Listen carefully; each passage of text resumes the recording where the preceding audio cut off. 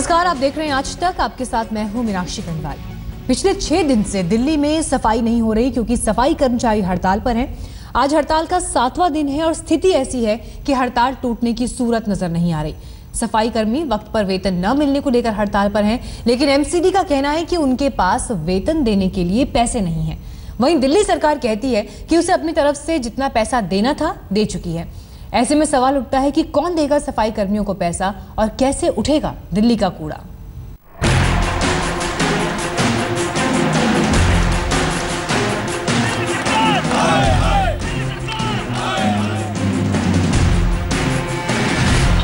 दिल्ली को world class city बनाने का सपना देखने वालों के लिए ये तस्वीर किसी बुरे सपने की जैसी है। पिछले छह दिनों में दिल्ली की सड़कों के किनारे बने कूड़ा घर और सड़कों के बीच का भेद खत्म हो चुका है। कूड़ा घर कहाँ और सड़क कहाँ? लोगों के लिए ये पहचान मुश्किल हो चुकी है, क्योंकि यहाँ हर तरफ़ कूड़ा ही कूड़ा बिखरा पड़ा है। सबसे बुरा हाल पूर्वी दिल्ली का है। चाहे दिल्ली के डिप्टी सीएम मनीष सिसोदिया का इलाका पटपड़गंज हो या फिर कृष्णा नगर ओखला, संगम विहार या फिर लक्ष्मी नगर दिल्ली के किसी भी कोने में आप चले जाइए। आपको कूड़ा घर ढूँढने की ज़रूरत नहीं पड़ेगी, क्योंकि आपके सपनों का शहर कूड़ा घर में ही तब्दील हो चुका है। हमारे गलियों तक में, मोहल्ले तक में कर्मचारी काम नहीं कर रहे बिल्कुल और गंदगी चिन्ह फैला रखी है देखो जाकर वहाँ भी नहीं कूड़ा भर रहा तो इस गंदगी की वजह से बीमारियों का भी खतरा रहता है? बिल्कुल ऐसे डेंगू चल रहे हैं हमारे अस्पतालों में पड़े बंदे। बदबू के मारे यहाँ दुकानदार बैठ नहीं सकते। मैं यहाँ डीडीए का प्रेसिडेंट हूँ लेकिन हाँ यहाँ की हालत इतनी बद से बदतर होती जा रही है कि गलियों गलियों में कूड़ा है। आप देख सकते हैं यहाँ कूड़े के ढेर लगे हुए हैं और बड़ी ही बेतुकी उससे मैं तो केजरीवाल सरकार से कहूँगा या तो इनको बर्खास्त किया जाए या तो इनको बर्खास्त किया जाए या फिर सफ़ाई व्यवस्था सुचारू रूप से जैसे यहाँ पहले चलती थी वैसे चलाई जाए। दरअसल वेतन और बकाया भुगतान की मांग को लेकर दिल्ली के सफ़ाई कर्मचारी हड़ताल पर 23 अक्टूबर से हैं। हालाँकि हड़ताल के दो दिन बाद सफ़ाई कर्मचारियों के एक गुट ने हड़ताल तोड़ने का ऐलान कर उम्मीदें जगाई थी। अचानक पार्टी के पास से फ़ोन आया और हमें बुलाया गया। फ़ोन आया? हमें दिलीप पांडे जी की तरफ़ से ऑफ़र आया कि आप हमारे पास आइए कम से कम एक बार हमारे से बात कर लीजिए आप लोग। तो उनके कार्यालय में हम सारे पदाधिकारी पहुँचे। वहाँ उन्होंने सारी बात समझने के पश्चात 1100 करोड़ रुपए देने की घोषणा की है। और ये सारा का सारा पैसा कर्मचारी के फंड में ही जाएगा। उनका जो बकाया वेतन है प्लस जो उनका बकाया एरियर उसमें ही जाएगा।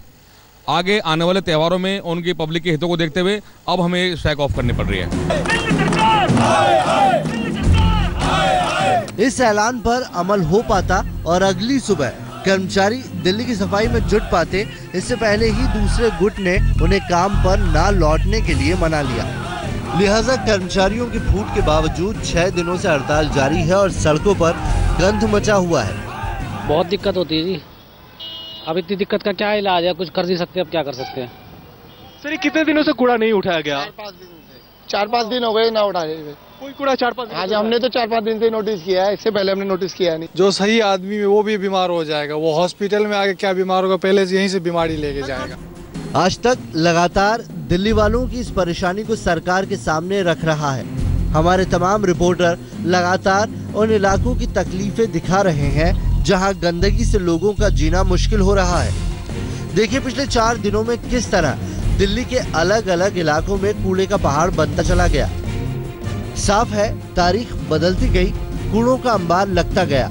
सरकार बेफिक्र है और सफ़ाई कर्मचारी सड़कों पर है।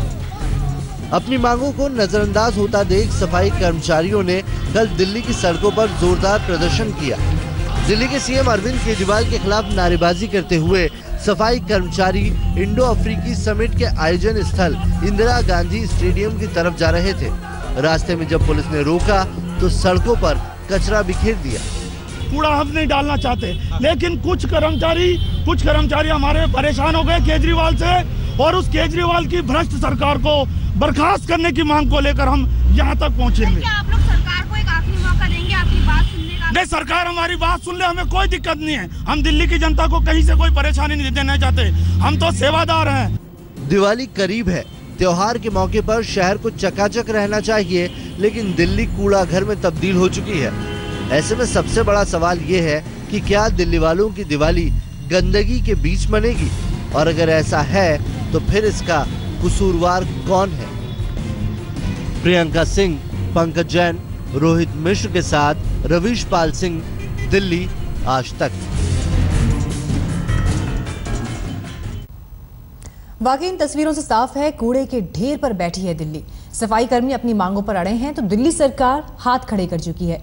ऐसे में नेशनल ग्रीन ट्राइब्यूनल यानी एनजीटी ने दिल्ली सरकार और तीनों नगर निगमों को नोटिस जारी कर दो दिन में कूड़ा साफ़ करने को कहा है।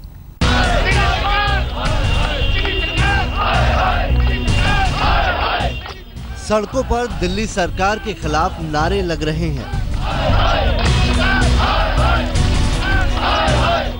कूड़ा हटाने की जगह सफ़ाई कर्मचारी धरना प्रदर्शन कर रहे हैं।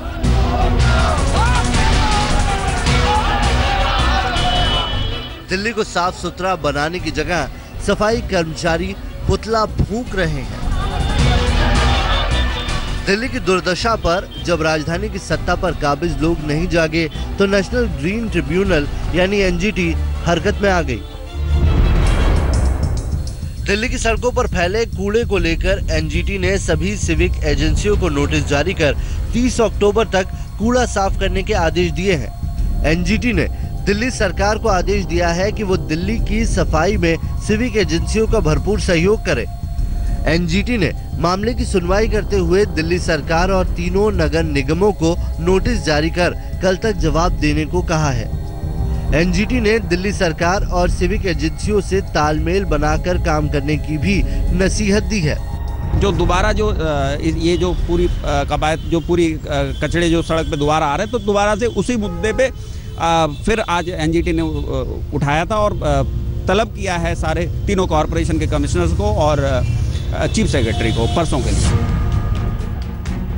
ऐसा पहली बार नहीं है जब एनजीटी ने दिल्ली सरकार समेत सिविक एजेंसियों को कूड़े को लेकर फटकार लगाई हो।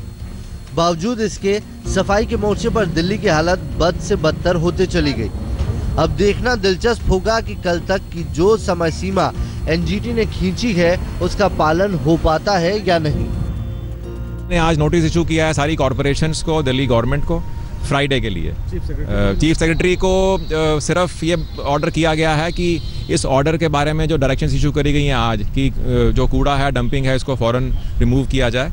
इसके लिए जो ऑर्डर किया है उसमें ये इंटीमेशन ऑफ़ दिस ऑर्डर को बोला गया है कि इमीडिएटली इन्फॉर्म किया जाए चीफ सेक्रेटरी दिल्ली को by fax and telephonically Delhi वाले तो उम्मीद यही करेंगे कि एनजीटी की कोशिश रंग लाए।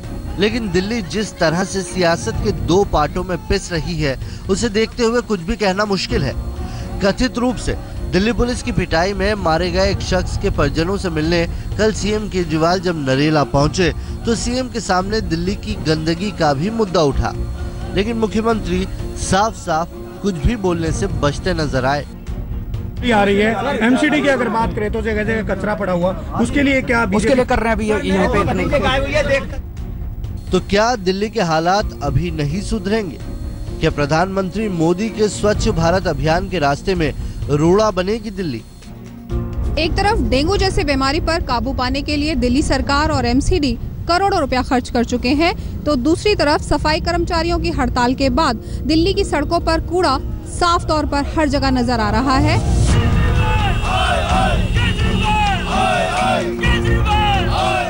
आज तक ब्यूरो। दिल्ली के कई इलाकों में गंदगी का अंबार लगा हुआ है। सवाल उठता है कि ये साफ़ कैसे होगा? क्योंकि जिन्हें ये काम करना है, वो आरोपों प्रत्यारोपों में लगे हुए हैं। देखिए, दिल्ली की सफ़ाई पर कैसे हो रही है सियासत?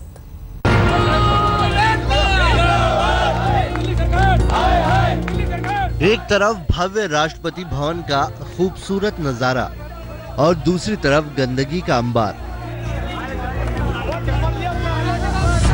ऐसे वक्त में जब राजधानी में चौवन अफ्रीकी देशों के मेहमान मौजूद हैं, दिल्ली में कूड़े का पहाड़ खड़ा हो रहा है। यकीनन, ये अच्छी तस्वीरें पेश नहीं कर रही है। ऐसे में सवाल पूछना लाजमी है कि कूड़े के ढेर में तब्दील होती दिल्ली का कसूरवार कौन है? बेशक दिल्ली में सरकार आम आदमी पार्टी की है, लेकिन दिल्ली की सत्ता संरचना की वजह से ये मुद्दा सियासी हो चला है।